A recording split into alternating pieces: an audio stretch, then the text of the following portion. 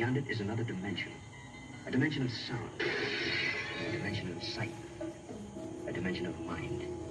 You're moving into a land of both shadow and substance, of things and ideas. You've just crossed over into the Twilight Zone.